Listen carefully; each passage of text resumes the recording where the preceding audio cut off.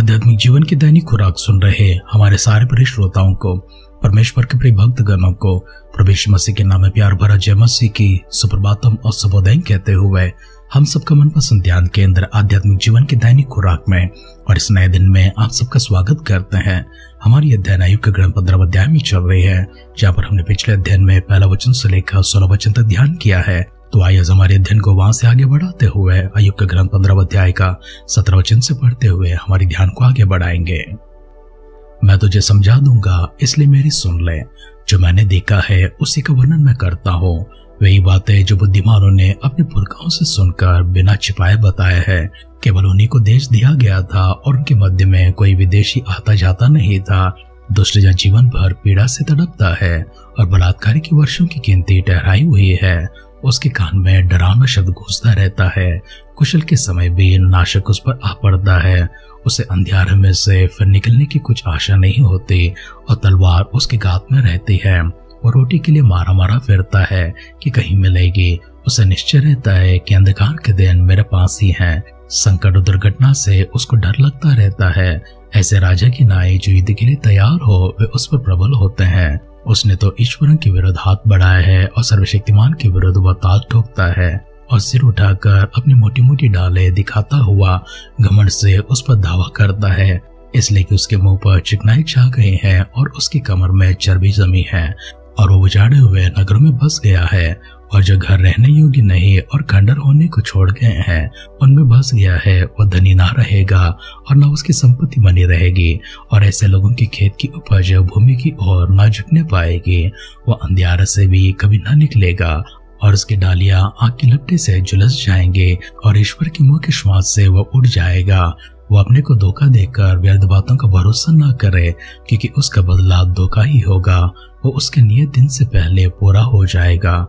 उसकी डालियाँ हरी ना रहेंगी दाग उसके कच्चे फल जड़ जाएँगे और उसके फूल जलपाई के वृक्ष के से गिरेंगे। क्योंकि भक्तिहीन के परिवार से कुछ बनना पड़ेगा और जो घूस लेते हैं, उनके उपद्रव का पेट रहता है और अनर्थ उत्पन्न होता है और वे अपने अंतकरण में चल की बातें करते हैं। अयुब का ग्रंथ पंद्रह अध्याय का सत्रह वचन से लेकर पैंतीसवा वचन तक अर्थात आखिरी वचन तक हमने पढ़कर सुना है। हमारे इस बटन में तिमानी एलिपेश को अयुब को उत्तर देता हुआ अयुब को उसका मुँह बंद कराता हुआ, उसकी बुद्धिहीनता को, उसकी अविवेकी को, उसको जताता हुआ, उसे समझाने के लिए और उसे दोषी साबित कराने के लिए प्रयास करता हुआ देखे हैं। तिमानी अलीबेज की बात है, उसके घावों का खरोदता हुआ, अर्थात अयुब किस कारण से अपने धन से धनहीन हो जाता है? एक धनवान मनुष्य था, कैसे वो गरीब हो गया है, वो कंगाल हो गया है? उसके संतान किस तरह से मर गए हैं?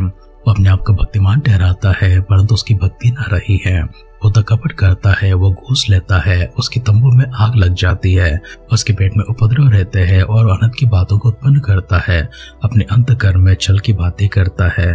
ये सारी बातें कहते हुए अयुब को बताने की कोशिश किया है, जताने की कोशिश किया है।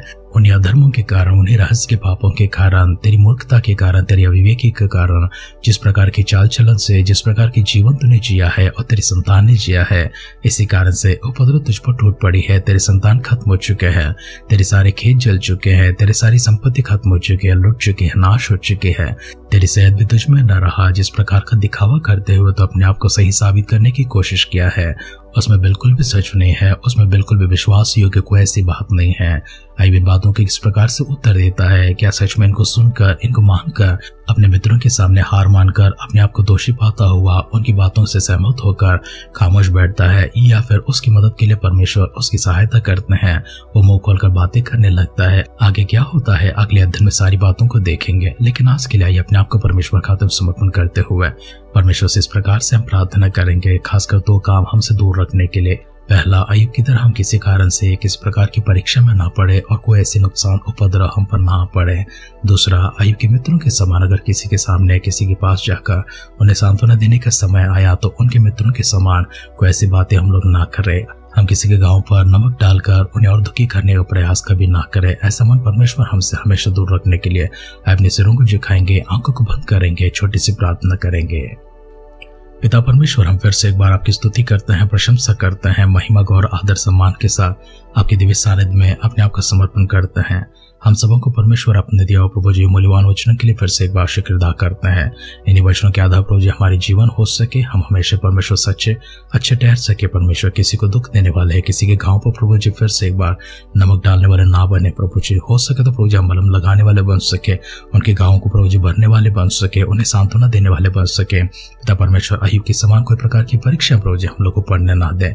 हमारी इस प्रार्थना को परमेश्वर आपने सुनकर हम सबको दिया उत्तर के लिए धन्यवाद करते हुए प्रवेश मसीह की बादलों की आगमन के विलंब होकर कल सुबह फिर से घर मिलकर आपकी स्तुति करने, आराधना करने। हम सबको संभाले रखिए। अगर ऐसा ना तो प्रभु के राज्य हम सबको शामिल करने के लिए दुआ करते हैं। हर भलाई के लिए फिर से बाप आदर, सम्मान, महिमा शुक्र अदा करते हुए हमारे उद्धार करता हमारे प्रवेश मसीह के नाम से इस प्रार्थना को मांगते हैं। सुनर कबल कर पिता। आमेन आमेन आमेन। परमेश्वर का अनुग्रह भरा हाथ निरंतर आपके ऊपर हो। परमेश्वर की आत्मा का अभिषेक आपके ऊपर हो। अगुवाई परमेश्वर निरंतर आपकी करते रहे। हर संकट से, उपद्रव से परमेश्वर आपको बचाए रखे। हमारी से दुआ और कामना के साथ आज के ध्यान कहीं पर समाप्त करते हैं। आप सुनते रहिए, सुनाते रहिए आध्यात्मिक जीवन की दैनिक खुराक। कल फिर मिलेंगे, अपना ख्याल रखिए, अपनों का ख्याल रखिए, दूसरों का भी ख्याल रखिए। God bless you